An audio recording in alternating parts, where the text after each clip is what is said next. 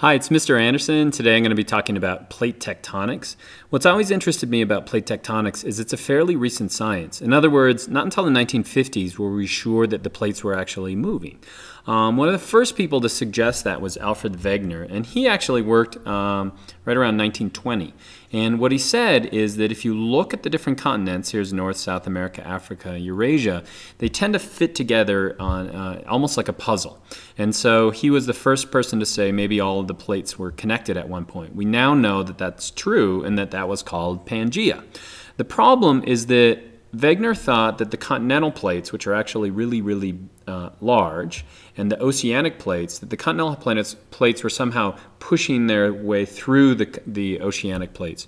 Oceanic plates are really, really dense, and so other scientists at that time said that they wouldn't have um, the momentum to be able to push through the rocks, and so the theory kind of fell apart. And so Alfred, Alfred Wegener actually didn't spend most of his career studying plate tectonics. He um, ended up being a meteorologist for most of his career and ended up dying in, in Greenland. It's a, it's a crazy story of how he met his end. Um, but that's not what I'm going to talk about. I'm going to talk about plate tectonics. So when did the science really take off? Well, there were two things that took place. First of all, we started looking at fossils on one side of the Atlantic and on the other, and we find that they actually matched up. So that's a good piece of evidence. But the best evidence came by looking at the rock in the oceanic crust, so in the, in the floor of the ocean. There's rock underneath the water. And we started looking at the magnetic fields that are stored in the rock. So as the rock is actually being formed, we can look at the magnetic um, pole or the polarity in the rock itself, and our poles will actually switch back and forth. So that occasionally north will become south and south will become north, and that's actually recorded in the rock. And so we could look at how old the rock was, and we could see how fast it's actually moving. And so this is a cool study because this right here, to kind of wrap your head around this, this is right down the middle of the Atlantic Ocean. These are going to be the youngest rocks. So in this diagram, the youngest rocks are going to be in red, and then the yellow is going to be older, and then the green is going to be older yet, and the blue is going to be older yet. So what does that mean? Well, it means that the youngest rock are actually right at the center of the ocean, and then it's, it's older the farther we go to the edges of the Atlantic. What does that mean? Well, it means that North America and Eurasia were connected, and they've been pulled apart, but they're not plowing through the oceanic crust. New oceanic crust is being made in the middle, and so it's actually pushing them apart. Now, how fast does this happen? I remember reading once that oceanic or the plates move about as fast as your fingernails grow. And so you're not going to see the plates moving, but over millions and millions of years, it actually ends up being quite a bit. Now, another way to look at where those plates actually exist is to look at where earthquakes occur. And so earthquakes occur where you have rock either being pulled against itself, pushed against itself, or sliding past itself. And so when that rock gives a little bit, that's an earthquake. And so if you look at where the earthquakes are centered on our planet, they're actually centered, well, here'd be the Atlantic, so right along that mid-oceanic ridge.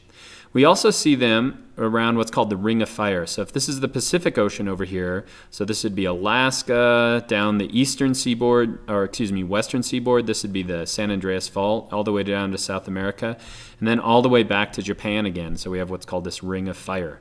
Now, why do we find earthquakes in some areas, but in some areas we don't? Well, that's where the plates actually match up. And so if we look uh, in the U.S., which we're pretty familiar with, where would we find a lot of earthquakes? Well, in California. So why do we have so many earthquakes in California? Well, here's the San Andreas Fault. It actually cuts California right in half. And so on one side of that, we have a plate moving in one direction. On the other, it's moving in the other direction. And so when they slip past one another, then we actually have a earthquake.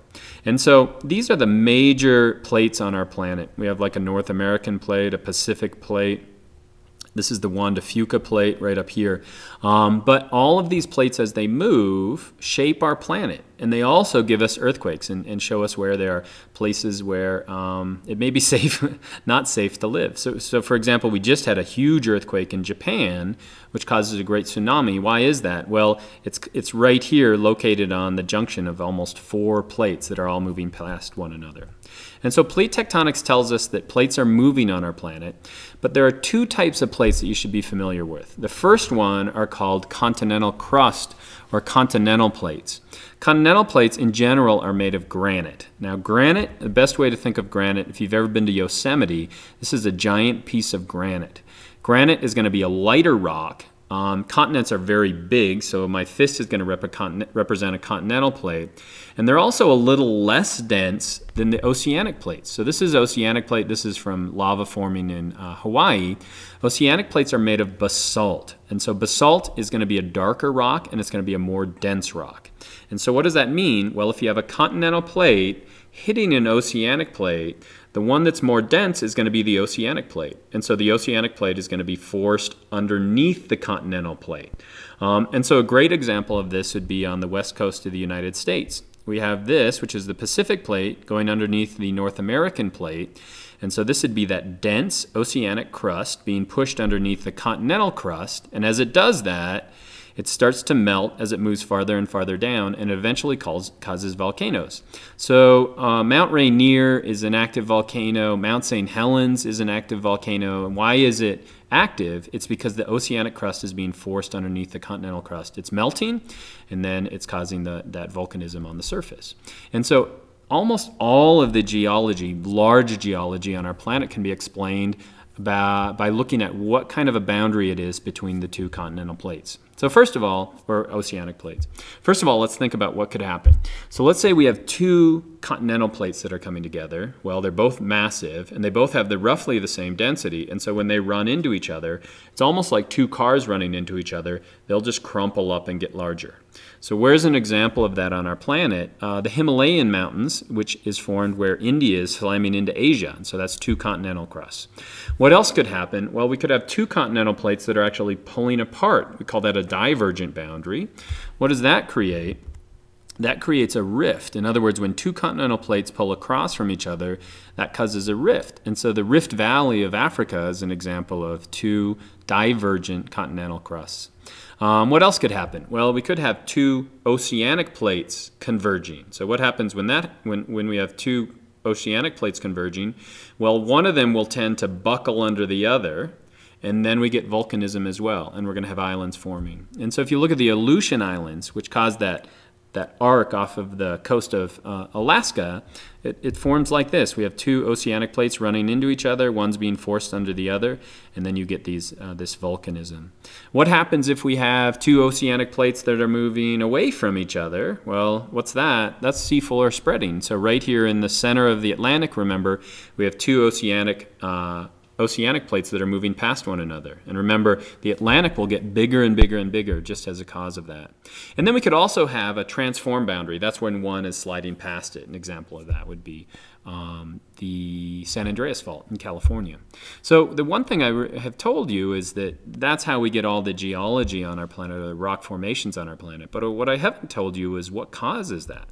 So what causes that is fire, convection currents. In other words, this is magma down here, so this is molten rock, and so we have convection currents, and a best way to think of that would be like in a lava lamp where you have the oil moving up and down.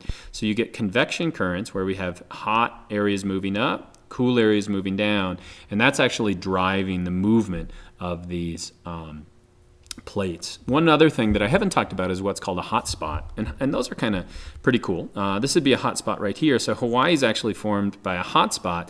That's just an area where the magma happens to come a little bit closer to the crust. And so Hawaii is formed uh, by a hotspot, but uh, in uh, really close to home, Yellowstone Park is actually situated over a hotspot.